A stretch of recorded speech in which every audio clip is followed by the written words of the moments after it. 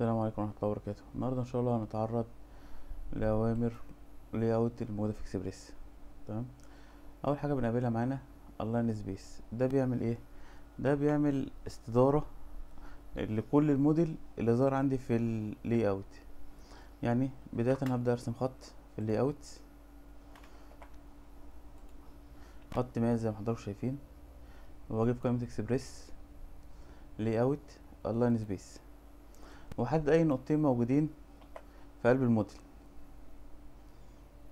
تمام؟ وأبدأ أحدد أي نقطتين تانيين موجودين في ال layout. بجد إن ال layout كله خد نفس خد نفس الزاوية اللي موجودة بره. وأبدأ أشوف أنا عايز أتعامل بزاوية كام. تمام؟ أعمل تراجع. ولا الخط اللي أنا كنت راسمه. وادخل في قائمة إكسبريس تاني layout وأشوف الأمر اللي بعد كده. الأمر ده بيعمل إيه؟ أنا دلوقتي عندي ال layout دوت ليه تكملة الناحية التانية. تمام؟ فأنا عايز التكملة دي تظهر معايا.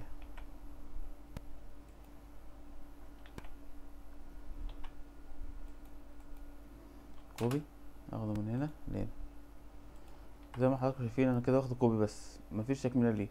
ومهما حاولت مش هتيجي معايا بالملي إنها تيجي بنفس التكملة قدها بالظبط. حاجة الخبط كده شكلها بحيث إنها تبان معايا أكتر. وأخش في قائمة Express layout وأختار الأمر دوت.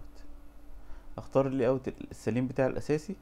وبعد كده أختار layout أو أكتر من layout يكملوا معايا الشكل.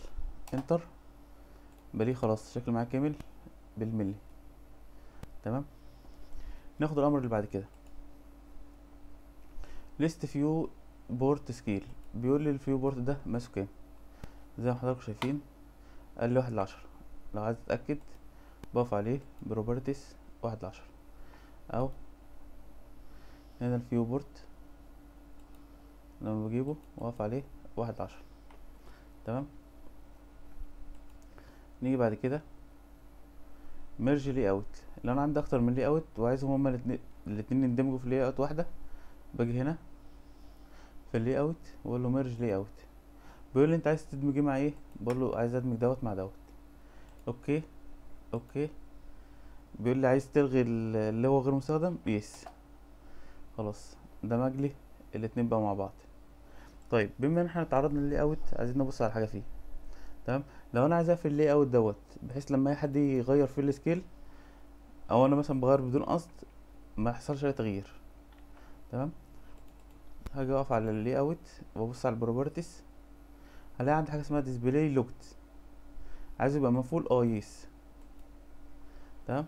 هاجي بقى اغير كده مفيش حاجة تتغير معاه خالص. أنا موجود أهو في قلب الموديل المفروض إن أنا لما بغير زي ما بيحصل في التانية يتغير معايا. لا ده هنا خلاص اتقفل على واحد لعشرة. ما يحصلش أي تلاعب فيه. ودي مفيدة جدا لأن ممكن أنا أغير ال scale بدون ما أخد بالي.